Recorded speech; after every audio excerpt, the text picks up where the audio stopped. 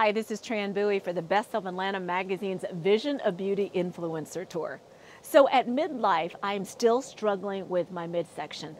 I don't know about you, but no matter how many crunches or sit-ups I do, I'm still battling the bulge in my tummy.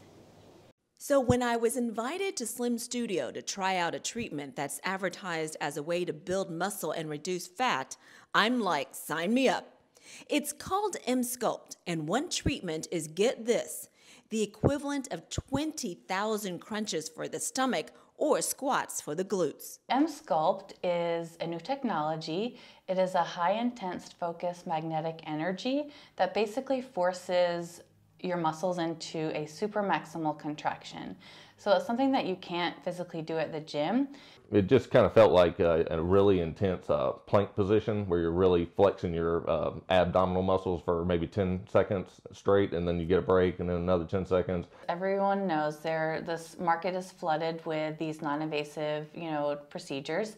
Uh, nothing is a quick fix, but I will say that Emsculpt is the first technology of its kind for a non-invasive muscle building treatment the results were amazing. I could see a difference after the first session. Um, initially, you start to see your abs getting stronger. Um, when I was working plank position and core muscles, I could tell a difference in the strength in general.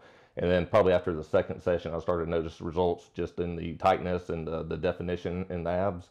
And then I started noticing um, the belly fat just kind of started dropping off. So here's the deal. Emsculpt is an investment. You can't just expect to go in, have one session, and have a six pack. You're going to have to go at least four or six sessions. And we can't sit around on the couch, eat burgers, and just veg all day and expect the weight to stay off.